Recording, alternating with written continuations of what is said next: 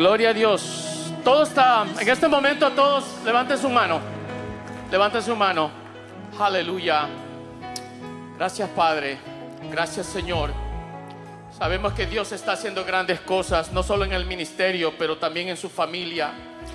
Servimos a un Dios que es un Dios viviente y no es un Dios muerto. Ese es el Dios que vive en tu corazón, vive con compasión. Hoy viniste porque Dios tiene algo para cada uno de nosotros. Cada uno de nosotros vivimos porque Dios tiene en preparación. Diga conmigo, estamos preparados. Estamos preparados porque Dios va a hacer algo grande en su vida en esta tarde. Yo no vengo a darle una palabra, sino que el Espíritu Santo viene a darle algo para usted, que usted se llene con el Espíritu. Ese es el Dios de ayer, hoy y para siempre. Es el Dios que vive en nuestros corazones vive con compasión, vive internamente para nosotros, para que tú y yo podemos servirle el resto de nuestras vidas. Amén. Hoy te confieso, yo sé que miro caras, personas nuevas aquí en este edificio, pero sabemos que tú viniste hoy, no solamente porque viniste a oír una adoración, pero también viniste porque hoy Dios te va a usar de una manera diferente en tu casa, en tu hogar. Estamos viviendo un momento de confusión alrededor de la atmósfera afuera en el mundo. Hay tanta confusión, tanta perdición, pero hay un Dios. No te vengo a hablar de, política, te vengo a hablar de lo que el Espíritu Santo hoy quiere hacer en ti. No hay que confundir lo que el mundo y lo de Espíritu tiene para Dios hoy. Hoy Dios quiere hablarte en tu mente, en tu corazón Hoy Dios quiere prepararte para la siguiente batalla. Las batallas no se ganan, sino que Dios gana la batalla en ti sobre victoria a victoria, a victoria, a victoria, a victoria, a victoria. Hay tantas grandes cosas que están pasando en nuestra iglesia. Hemos ido a las calles a evangelizar. Como usted puede ver el video de Tijuana en esta semana, en las primeras tres semanas que siguen, Estamos yendo a Tijuana, a un pueblo allá que prácticamente estamos en una comunidad, una zona, no solamente que es peligrosa, pero estamos en un territorio del diablo que ha querido vencer, al que ha querido estar ahí para perturbar las mentes de la gente y poder atacarlos. Pero cuando llega el Espíritu Santo y Dios entra en acción, no hay nadie que pueda parar lo que Dios ya tiene ahí tenemos, tenemos una misión y una comisión de cumplir. Es para que todas esas almas puedan ser rescatadas. Te puedes imaginar, hay como dos cuadras adelante, hay un santuario de la muerte, de la santa muerte. Simplemente está como quien dice dos cuadras. Y ahí le están adorando al enemigo. Pero cuando Dios tiene una misión allí, no hay nadie, no hay potestades, ni hay gobernadores, no hay nadie que pueda venir contra los planes de Cristo. Cuando Dios tiene los planes hechos, no hay nadie que pueda venir contra la palabra de Dios. Dice la Biblia claramente que no hay ni una arma forjada que puede prosperar en los caminos de Dios. Cuando Dios dice que los planes ya están hechos, ya están hechos. Yo le vengo a hablar a una familia aquí al día de hoy que cuando tú quisiste tirar la toalla, es cuando Dios más te dijo, no hijo, no la tires todavía porque yo tengo algo mejor para ti. Ese Dios está trabajando todavía en tu mente. No es nada fácil. Hay cosas, dificultades que vamos a pasar en nuestras vidas. Hay enfermedades que todavía estamos pasando. Hay todavía situaciones en nuestras familias hay divorcios que quieren divorciarse, pero déjame decirte que es una mentira del diablo. Porque cuando Dios une una familia es para todo el siempre de la vida. Cuando Dios sana una enfermedad es para que Dios pueda remover. Cuando la sangre de Cristo está sobre ti es porque Dios está en el momento de sanarte. Si has esperado, estás en angustia, dice Señor, yo ya no tengo más claridad. Pero déjame decirte que cuando tú tienes la oscuridad, Dios convierte la oscuridad a la claridad. Es para sacarte de donde tú estabas. Es para que Dios puedas seguir en el paso. Tú puedes ir por el desierto, por el valle, pero eso no te califica prácticamente que te quedes bajo. Cuando Dios dice que yo voy a sanar un cuerpo, cuando Dios dice que yo voy a fortalecer un cuerpo, cuando Dios... Ese es el Dios viviente. Amén. Vamos a orar en este momento. Quiero que todos compartan conmigo. Levante su mano. Levante su mano. Dios Padre, en esta hermosa tarde, Señor. Yo no soy quien yo voy a predicar la palabra, Espíritu Santo. Eres tú en mí, Padre. Solo unge mi boca. Yo solo soy más que un instrumento ante tu presencia, Padre. Señor, yo me humillo ante tus pies, ante tus manos, Padre. Aquí está tu pueblo, Padre. Mucho más que están necesitados, más hambre de ti, Señor. Padre amado, que tu palabra, Señor, no solo sea oída en este pueblo, pero también a los alrededores de las naciones del mundo, Padre. Para aquellos que están mirando en las redes sociales, Padre. Hay una palabra para ti, dice el Señor. Es una palabra, yo vengo a revelar, dice el Padre, hoy en el día. Yo vengo a sanar heridas, dice el Señor. Yo vengo a... Gracias, Padre. Gracias, Espíritu Santo, Padre. Alabamos tu presencia en esta tarde, Señor. Señor, aquí está tu pueblo, Padre. Manifestamos tu gloria, Señor. Levanta este pueblo en esta tarde, Señor. Aquellos que vinieron con cargas hoy se van a ir descargados, Padre, porque tú les vas a sacar un peso y ese peso no, no está en ellos, sino que tú vienes a aliviarlos, tú vienes a animarlos y tú vienes a sanarlos, Padre. Hoy, Señor, tú vas a hacer tu gloria, Padre. Señor, gracias en esta hermosa tarde. Gracias Señor por el grupo de adoración, Padre, porque tú estás cambiando una atmósfera aquí en este momento. Señor, gracias por todas las intenciones que tú tienes, Señor, en este hermoso edificio, en, Señor, en tu pueblo, Padre. Señor, te damos toda la honra y la gloria, va para ti, Padre amado, en el nombre poderoso Cristo Jesús, Señor, y toda la honra para ti, Señor, y su pueblo dice, amén, gloria a Dios, gloria a Dios, hermano. Denle un fuerte aplauso a nuestro grupo de adoración. ¿Cuántos pueden decir que sintieron la presencia del Señor durante la adoración? Amén, amén. Gloria a Dios, gloria a Dios. Mucho gusto, hermanos. Mi nombre es Luis, yo soy el pastor Luis Ver aquí de la iglesia The Way en español. Es un gusto tenerlos aquí en la casa del Señor. ¿Quién está aquí por primera vez? Levante su mano. Levante su mano, gloria al Señor, gloria al Señor. Yo sé que ya lo había dicho el hermano David temprano, pero quiero saludarte personalmente, decirte que te amamos. Gracias por venir a esta hermosa iglesia. Si a lo mejor tú dices, no tengo una, no tengo una casa de Dios, un lugar a donde yo puedo este, adorar, espero que esta sea tu casa de Dios y que sea para ti te prometo algo, que es un lugar que vas a ser amado y vas a ser respetado. Si aquí es un lugar donde tú vas a aprender la palabra de Dios, pero también es un lugar donde vas a aprender el discipulado y cómo Dios te va a comenzar a dirigir en tu vida. Amén. Y para todos que están mirando directo de las redes sociales, Dios te bendiga alrededor de las naciones, ya sea diferentes países latinoamericanos o aquí en los Estados Unidos, Dios te bendiga. Espero que esta palabra que Dios la va a dar te pueda revelar a ti y a tu linda familia. Amén. Todos saluden a las cámaras en este momento. Gloria al Señor, gloria al Señor. Bueno, pues mucho gusto hermano, ha sido un placer. Eh, en este mes de octubre estamos comenzando a hablar de lo que es la guerra espiritual, guerra espiritual todo este mes estamos acompañados lo que Dios está haciendo grandes cosas en su vida. Mientras cualquier problema que esté pasando en sus vidas, dificultades, puede ser unas expectativas, pero hay un Dios que sale adelante. Es un Dios del propósito, es un Dios que tiene grandes cosas para tu vida. Amén. ¿Cuántos lo saben eso? Amén.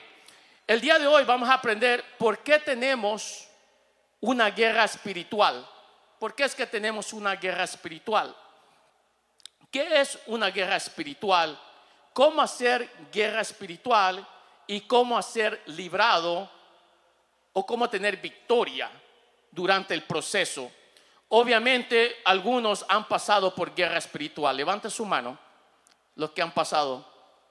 Y los que no han pasado, no se preocupen. No es nada que pueda decir que el enemigo tiene más poder que Dios, absolutamente no, sino que son distracciones, son cosas que pueden venir en tu mente, en tu corazón y puede ser eh, algo que te quiera atacar, pero eso tú no le das crédito, amén. Según estamos en una guerra espiritual contra Satanás y sus demonios, la lucha no es contra carne y hueso, significa que la lucha no es contra las personas, sino contra los espíritus malignos. La lucha no es con tu vecino que está al lado tuyo, no lo mires. La lucha no es con los que estás haciendo ministerios.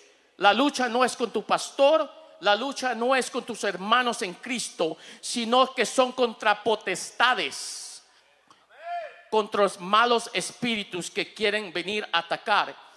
Hay malos espíritus, no lo digo en personas, que tienen una tarea asignada para cada uno para destruir tu, para destruir tu labor y las obras que Dios tiene para ti.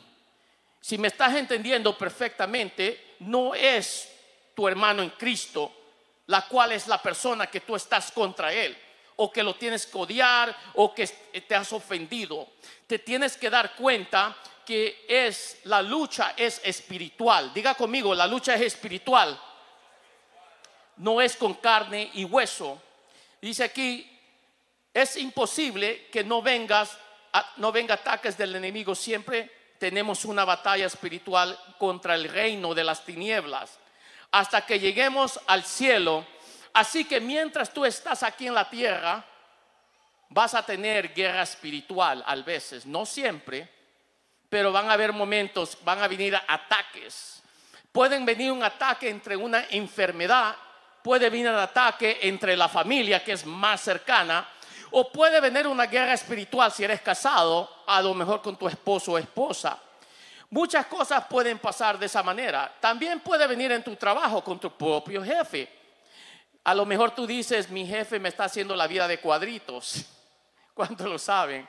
¿Y qué quiere decir? Pues solamente a mí me está, se, está, se está enojando conmigo, yo no le he hecho nada. La simple falta porque tú estás sirviendo a Dios, tú estás con las cosas de Dios.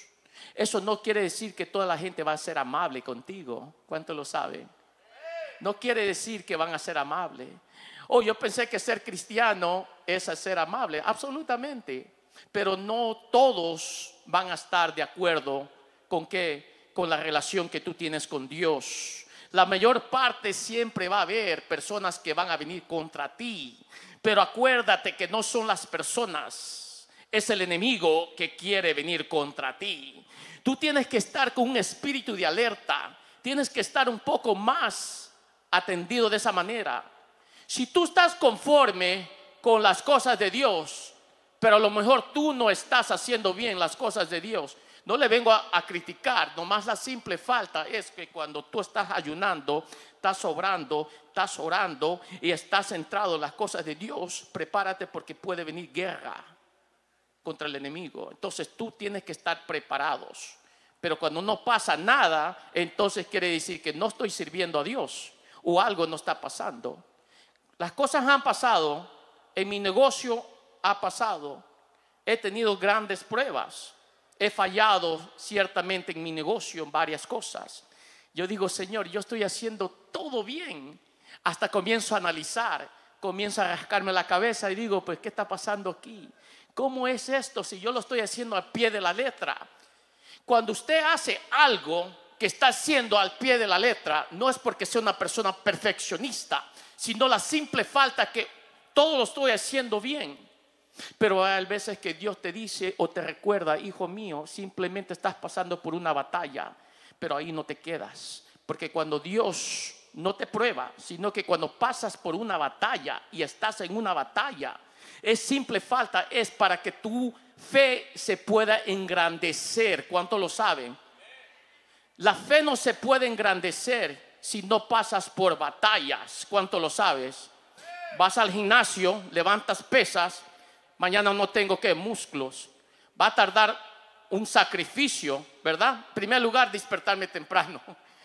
algunos no les gustan despertarse temprano, ¿verdad? Cualquier sea la hora. Lo segundo es que proporcionarme ir al gimnasio, ir que hacer la meta que tengo que hacer. Entonces es la manera como yo te explico de eso. Y en este caso, como te digo, aquí hay buenas noticias. Dice aquí, yo te animo que no tengas temor, sino que la autoridad que Cristo te ha dado, si eres un verdadero cristiano, aprenda a orar. A orar en el Espíritu tenemos la autoridad. ¿Qué es lo que quiere decir? Cuando hay guerra espiritual, hay señal que tú puedes vencer, que toda potestad, todo lo que se quiera venir contra ti, porque en la oración hay poder. ¿Cuánto lo saben? En la oración no solo hay poder, pero en la oración hay unción también para aquellos que tienen la autoridad en oración para, para derrotar los planes del enemigo que tiene contra ti. Yo no sé de ti, pero yo le vengo a predicar a alguien el día de hoy que a lo mejor tú crees que tienes la capacidad que eres derrotado por el diablo. Déjame decirte que solo lo que tienes que hacer es abrir tu boca y decir, yo tengo el poder de Cristo y la sangre de Cristo puede que puede destruir todo asignado que quiera venir, todas potestades. Nada de eso puede forjar o puede prosperar contra la vida que Dios tiene para mí. Amén. Quiero que diga conmigo, diga conmigo todos, yo reprendo todas obras del espíritu maligno sobre mi vida. Una vez más, yo reprendo todas obras del espíritu maligno sobre mi vida. Denle un aplauso al Señor.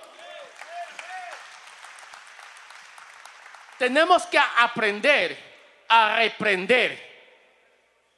Cuando reprenda, no reprenda, oh Señor, no, reprenda con autoridad.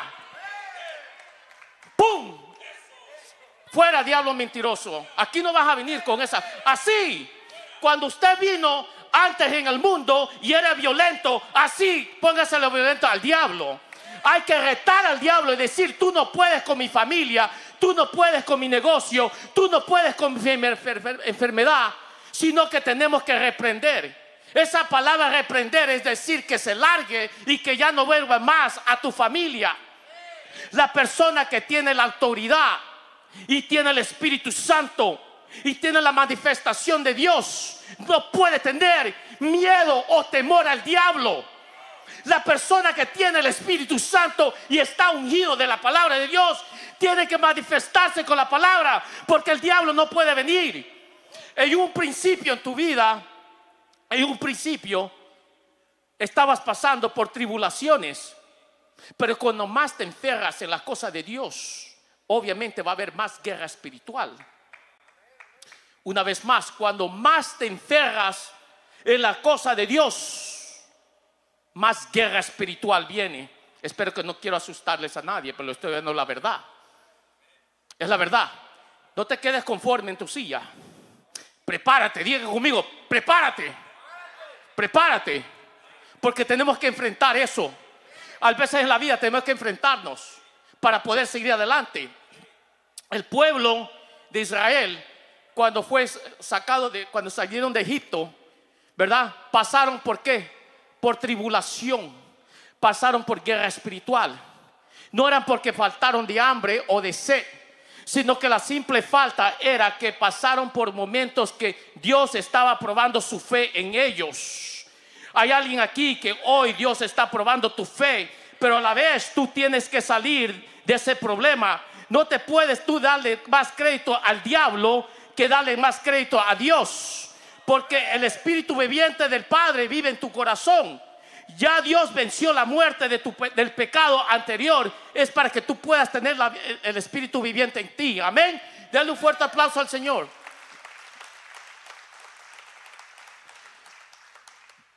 La guerra espiritual tiene que ver con tu alma y no con tus armas. Tu alma tiene un precio. Tu alma tiene un precio.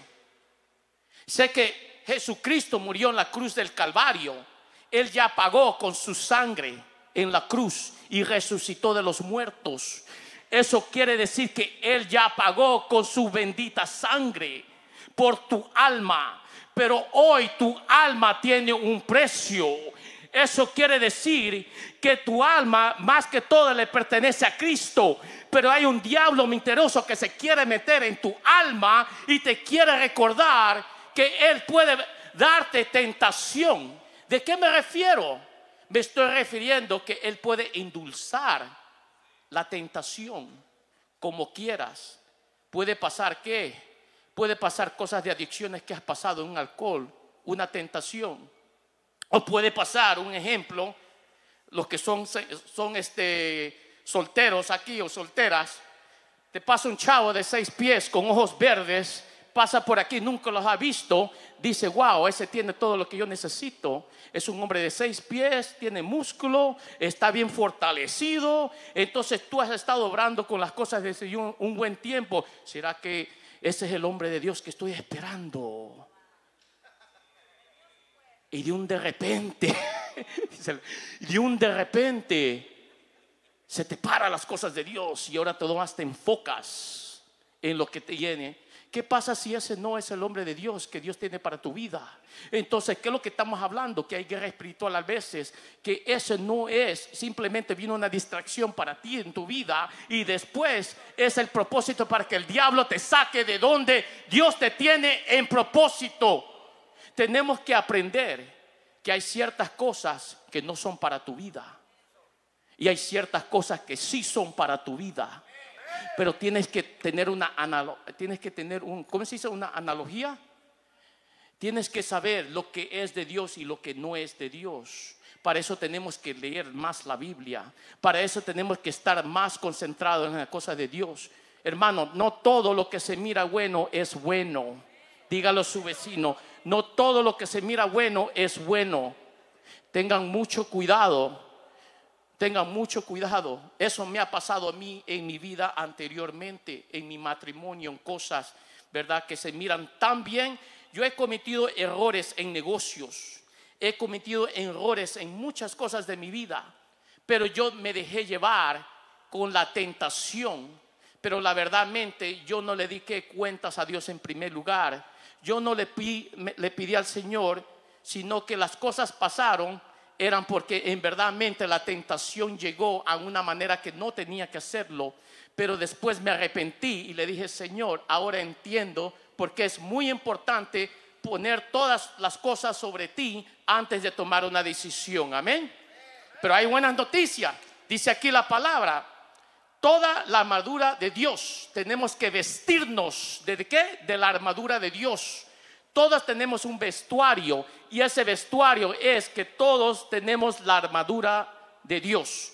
En Efesios capítulo 6, versículo 12, si pueden ver la pantalla en este momento, dice la Biblia, pues no luchamos contra enemigo de carne y hueso, sino contra gobernadores malignos y autoridades del mundo invisible, contra fuerzas poderosas de este mundo tenebrosos y contra espíritus malignos de los lugares celestiales. ¿Qué es lo que eso quiere decir? Que el diablo está atrás de sabotear tu paz. Diga conmigo, mi paz. Diga conmigo, mi paz. Él quiere sabotear nuestra paz y gozo, declararte la guerra contra tu libertad para destruir tu moralidad y tu carácter. Eso quiere decir que el diablo quiere destruir tu paz quiere destruir tu gozo, quiere destruir tu matrimonio, quiere destruir tu trabajo.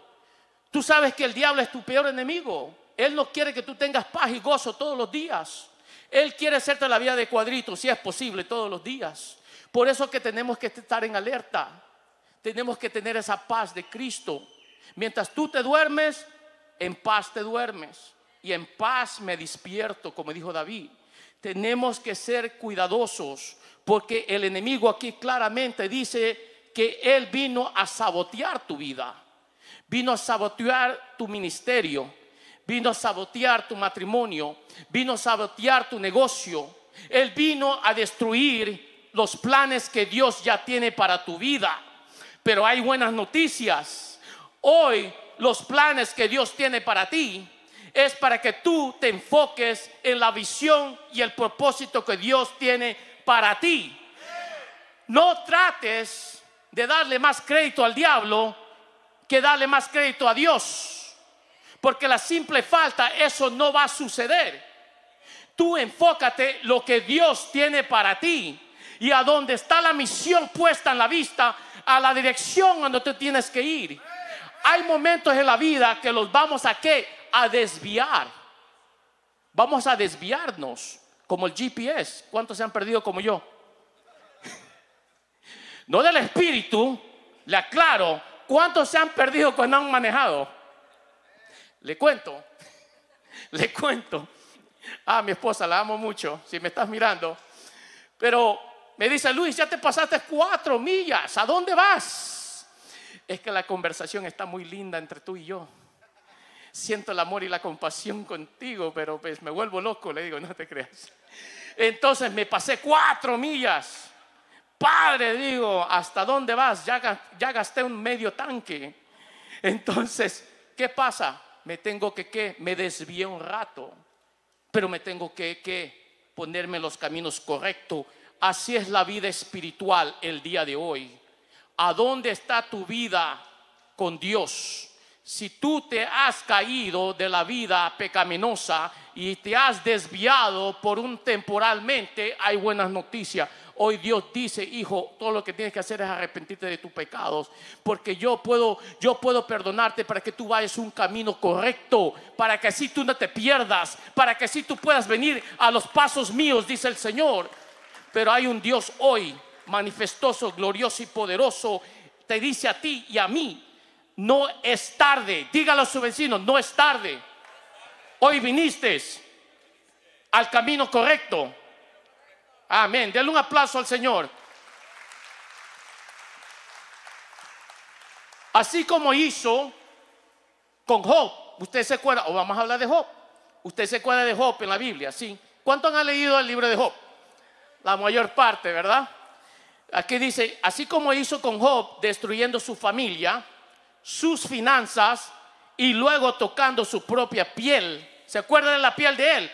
A través de una enfermedad. Así puede ser la vida espiritual, la guerra espiritual, hermanos. Dios te puede tocar en tus finanzas. Te puede tocar en tus finanzas.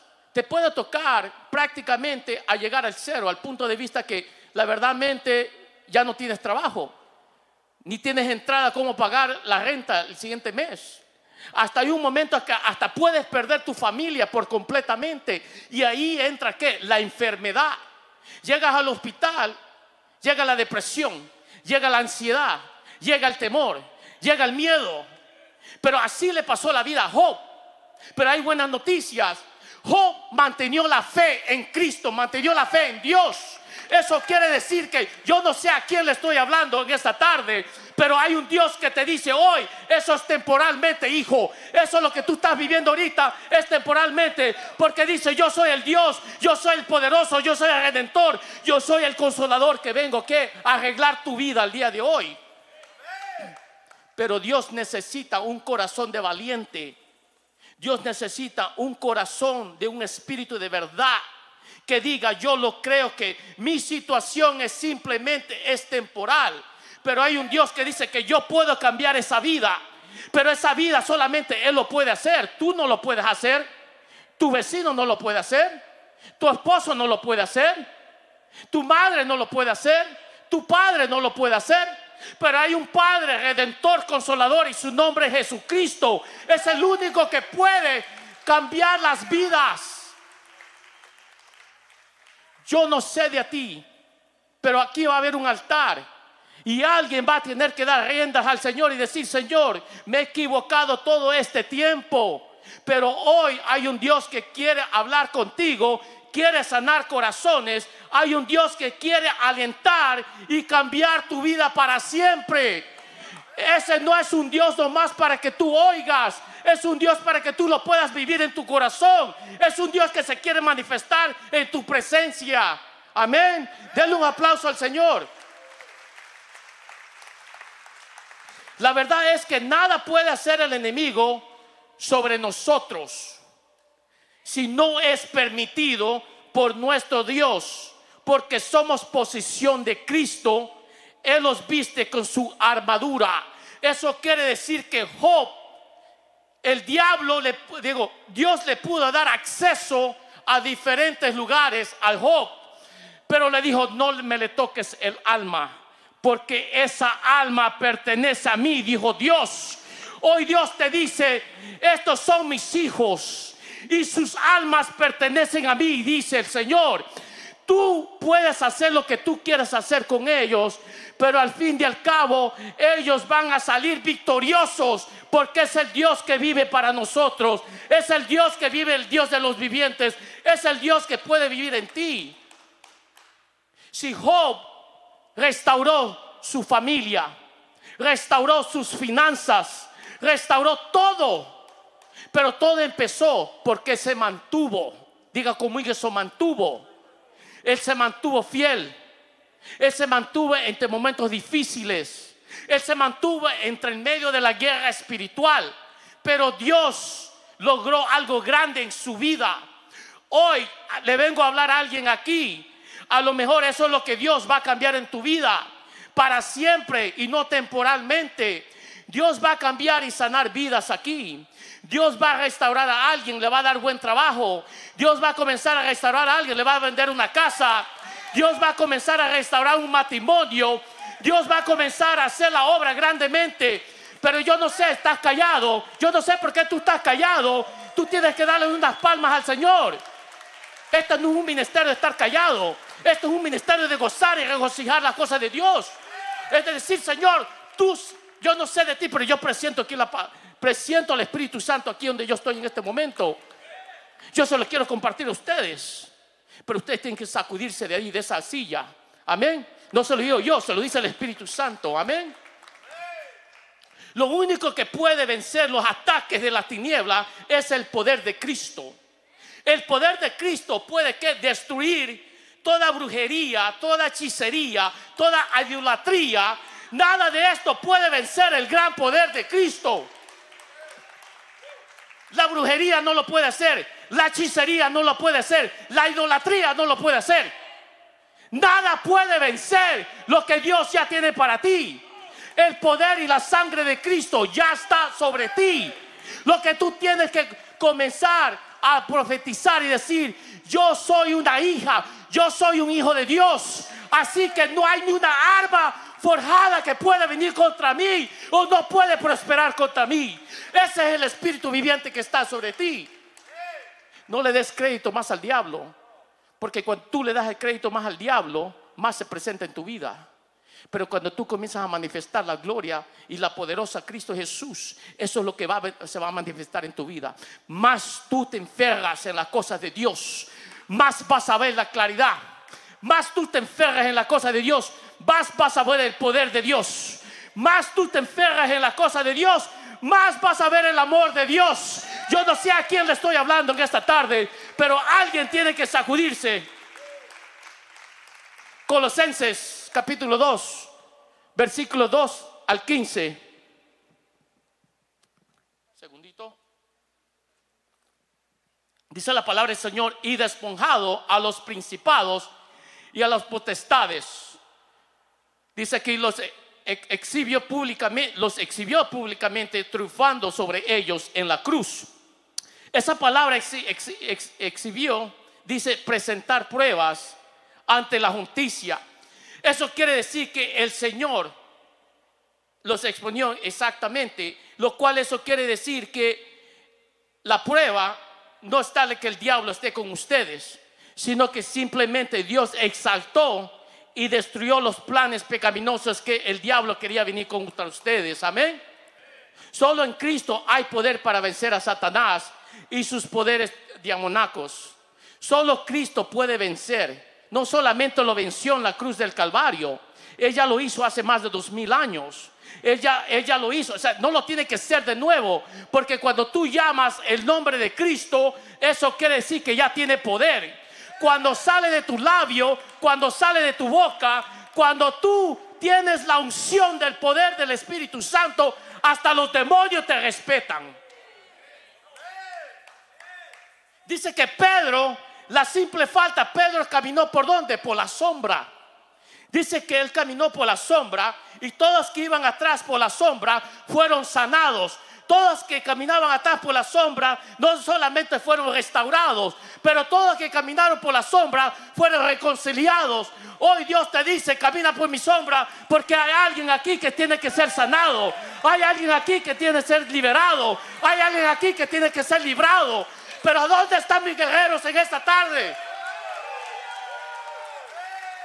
Ese es el Espíritu Santo de Dios que está manifestado en, su, en la gloria. Amén. Vamos a hablar de tres herramientas más efectivas. No hay mucho tiempo, pero trato la manera de ir un poquito rápido porque está bueno esto. Dice, hoy vamos a identificar cuáles son las tres herramientas más efectivas para vencer el poder del Espíritu Santo. En el, en el, el poder del Espíritu Santo, perdón. Número uno, el poder de la oración. Diga conmigo, el poder de la oración. Cuando buscamos a Dios en oración, Él activa todos los recursos de ayudar para su Hijo al fin de ser, de liberarnos. ¿En que En la unción de tu boca que destruye del enemigo. Eso quiere decir que el poder está en la oración. Hay dos cosas que quiero hablarle. Hay oración y hay poder de la oración. Lo digo, hay oración y hay poder en la oración. Con autoridad. Cuando tú oras por un trabajo, por algo, por algo, ya sea si tú fuiste un milagro, tuviste cáncer y ahora ya no eres, ya no tienes cáncer en tu cuerpo, porque cuando hay poder de Dios ahí adentro, hay poder. Hay poder porque la unción está sobre ti. Pero nada de eso puede pasar si tu fe no está activada. Si tu fe no está activada en el poder, entonces no puede pasar nada. Pero cuando Dios tiene el poder en ti, entonces eso quiere decir que se activa el poder de la oración en ti. Dice Dios, pídeme en mi nombre. Dice el Señor, pídemelo, pero pídeselo con autoridad. No se lo pida, será, será, será, será. ¿Será que sí va a pasar o será que no va? No, sí va a pasar en el nombre de Cristo Jesús. Va a pasar porque el Padre lo dijo que sí va a ser. Si Dios me liberó, iba a ser deportado hace más de 10 años de inmigración. Yo estaba delante de un juez y en ese iba a perder mi familia. En ese momento yo estaba, Señor, Mucha gente me dijo, mi madre mismo me dijo, si estás mirando te quiero mucho madre, pero disculpa lo que voy a decir, te lo voy a decir. Mi madre dijo, piénsalo bien porque te vas a ir a Ecuador, me dice, y te vas a llevar a tu familia. Le digo, no madre, yo te quiero mucho, ¿sabes qué? Yo me quedo en este país. Porque Dios ya me lo confesó, ya me lo dijo un día antes. Así que mírame juez, tú y yo estamos aquí. Estaba el fiscal, estaba el juez, estaban como 60 personas atrás mío, me estaban apoyando. Pero cuando tú tienes la mirada de Cristo y cuando tú tienes todo lo justo en Cristo, nada puede venir con ti. Yo me acuerdo que en este, testimonio, lo que yo le acabo de decir exactamente, todavía lo puedo vivir hace más de 10 años. Cuando tú tienes la oración del poder de Dios, cuando yo miré a ese juez, yo no tengo ninguna intención de deportarte, me dice, yo puedo mirar algo en ti. Y yo sé que tú, yo, él ni sabía que yo era un hombre de Dios. Simplemente nomás miró y dijo, yo no puedo hacerlo, dijo. Yo siento algo que tú puedas estar en este país. Bienvenido de regreso a los Estados Unidos, me dijo.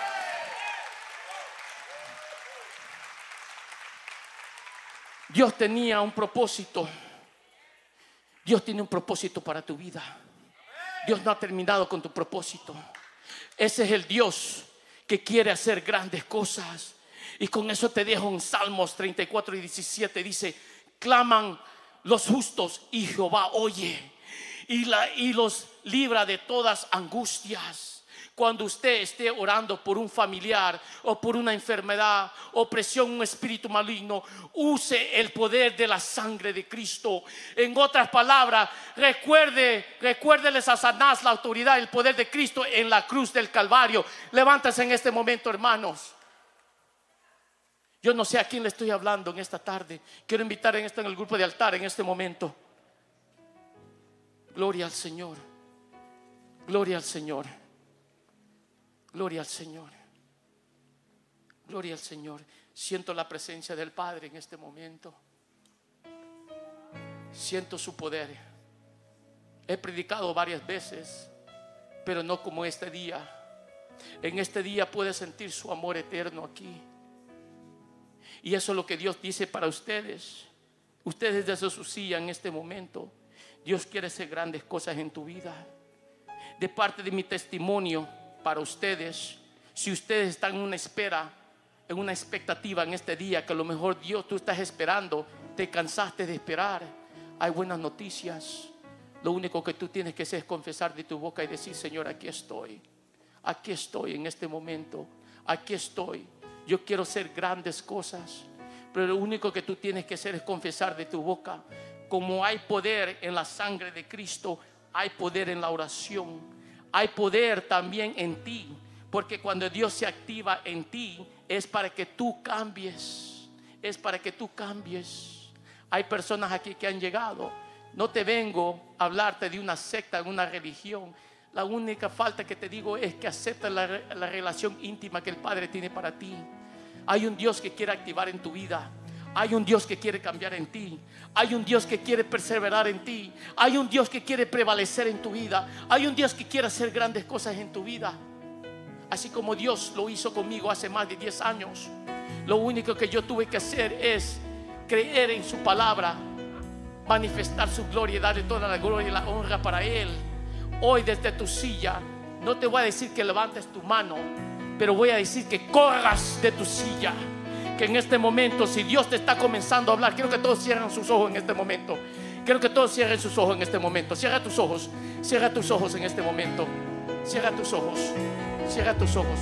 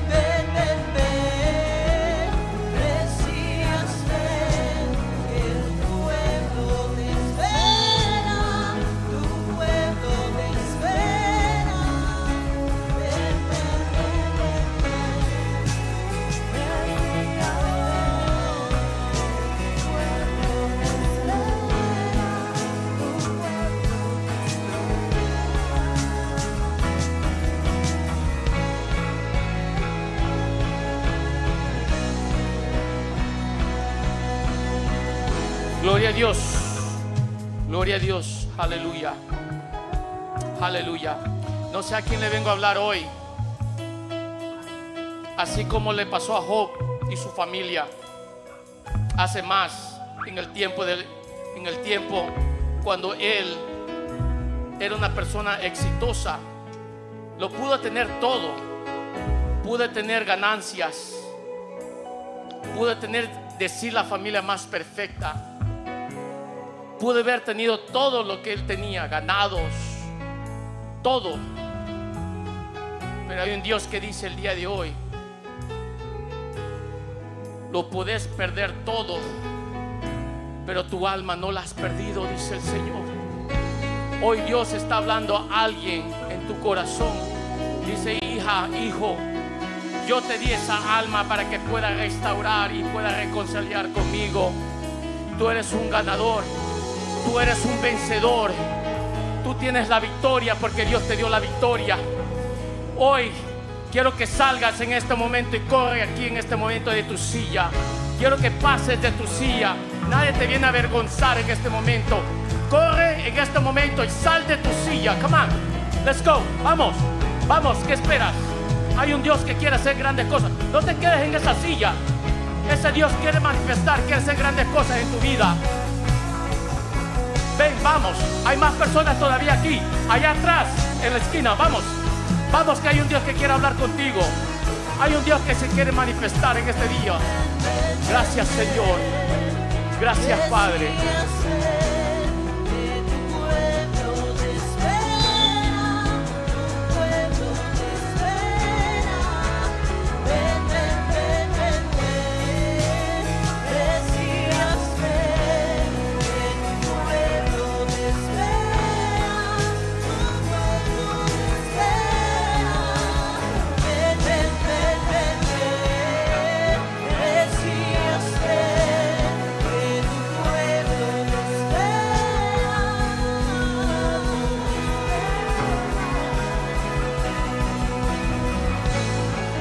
Aleluya. Aleluya. Ya puedo ver aquí el Espíritu Santo activándose aquí en este momento. Necesitamos más líderes si pueden venir a orar, por favor. Necesitamos ayuda aquí. Si alguien aquí es líder, por favor, pasen adelante. Gracias, Señor. Vamos a orar en este momento. Vamos a orar. Pero aquí se siente el Espíritu, la manifestación del Señor. Sabemos que hay poder en la sangre de Cristo. Sabemos que el Espíritu Santo es el viviente que hoy Dios quiere hacer sobre tu vida. Vamos a orar. Gracias Señor. Quiero que todos en este momento repitan conmigo. Es más, todos levanten su mano. Todos levanten su mano en este momento. Todos. Todos, todos, todos, todos. Come on, let's go. Todos. Oh Señor, gracias Padre. Gracias Señor. Padre, venimos ante ti, Espíritu Santo, Padre. Gracias Padre por este día, Señor. Señor, aquí está tu pueblo. Tiene hambre y sed de ti, Señor. Padre, te pido que tú reboses tu copa sobre ellos, Padre. Te pido en este momento por sus vidas, Señor. Espíritu Santo, hoy perdónanos por nuestras ofensas, por nuestros pecados. Señor, reconozco que usted murió en la cruz del Calvario hace más de dos mil años y resucitó de los muertos para perdonar nuestros pecados. Hoy, perdónanos, Padre, por nuestras ofensas. Perdónanos, Padre, si te hemos fallado. Hoy, Señor, reconcilio mi vida, restauro mi vida. Señor, te pido que restauras su matrimonio ahorita en este día, Padre. Te pido que tú sanes en este momento una enfermedad, Señor. Te pido en este momento, Padre amado, que tú te actives tu poder y tu gloria, Padre, en cada uno de tus hijos, Padre. Gracias, Señor, por este día, Padre. Señor, te pido que tú escribas sus nombres en el libro de la vida, Padre. Gracias, Padre, por este día, Padre. Gracias, Padre, por la restauración. Gracias, Padre, por la salvación. Gracias por mandar a tu Hijo no solo morir en la cruz del Calvario, pero también pagó un precio muy grande. Y ese es el precio que pagó para sanarnos, para liberarnos. Gracias, Señor. Te damos toda la honra y la gloria en el nombre poderoso Cristo Jesús de Nazaret. Y su pueblo dice, amén, gloria a Dios, gloria a Dios. Si alguien más necesita oración, te invito a que por favor pases adelante. No quiero que te vayas sin que nosotros oremos por ti. También tenemos un convivio aquí. Vamos a compartir con ustedes. Tenemos un almuerzo. Si tú te das cuenta, aquí tenemos un, un QR code que dice yo soy salvo. Queremos que con tu teléfono tú puedas poner y registrar tu información. Queremos mantenerte de los eventos, de los servicios de la iglesia y también para que seas invitado. El próximo viernes, diga conmigo el viernes a las 7, octubre 18, vamos a tener noche de unidad de hombres y mujeres. Quiero hacerles las invitaciones a todos. Por favor, vengan. Queremos compartir y convivir con ustedes. Que el Señor me los bendiga y que sea de bendición para ustedes en esta semana. Los quiero mucho. Dios me los bendiga.